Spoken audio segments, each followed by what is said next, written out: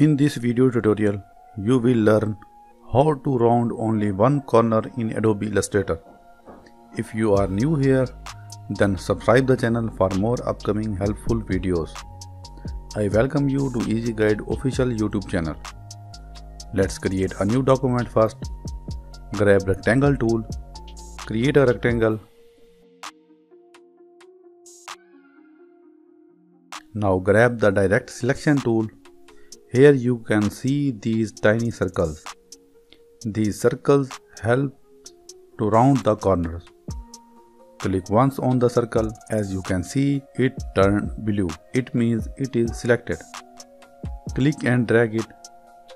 Only one is selected so the only one corner is round. Let's see another method. Create another rectangle or square whatever you want. Go to Windows and select Transform.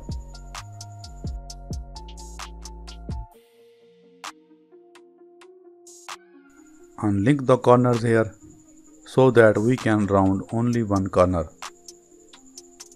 Now, here you can increase the value to round the corner.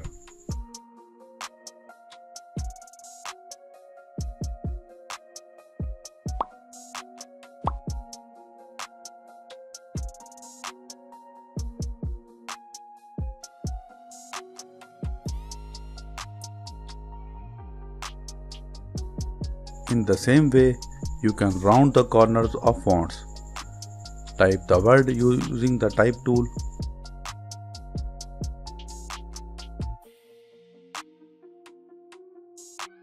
Change the font style if you want to.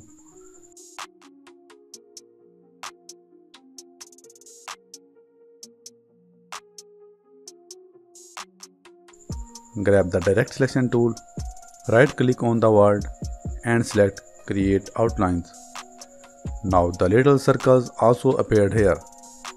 If you click and drag the circle without selecting any one, all the circles will be round.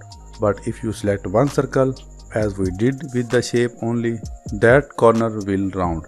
You can make new fonts and logos using the same technique. Now, here I am selecting two circles by holding shift key on my keyboard to round both at the same time.